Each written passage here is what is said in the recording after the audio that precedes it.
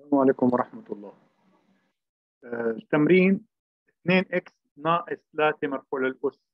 4x زائد 8 يساوي 1 هذا النوع من التمارين يحتاج منا إلى تأني وتذكر القواعد التالية. واحد مرفوع لأس هو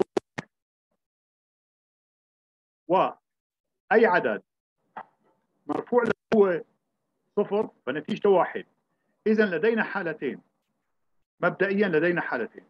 أن يكون هذا المقدار اللي هو الأساس 2x ناقص 3 بنحطه يساوي الواحد. x يساوي 4 وبالتالي x يساوي 2 هذا أحد الحلول أو هذا واحد.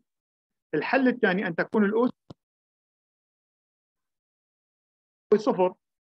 بالتالي 4x يساوي ناقص 8 إذا x يساوي ناقص 2 وهذا هو الحل الثاني ولكن إذا نظرنا إلى هذا المقدار هناك حل ثالث ما هو؟ أن يكون ما داخل القوس اللي هو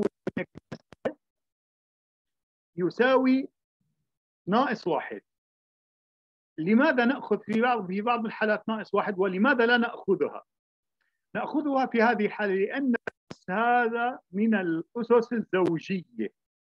وبالتالي أيا كانت نتيجة هذا المقدار سالب واحد فإن ناتجه واحد. يعني مهما كانت قوته. لذلك نضعه يساوي سالب واحد.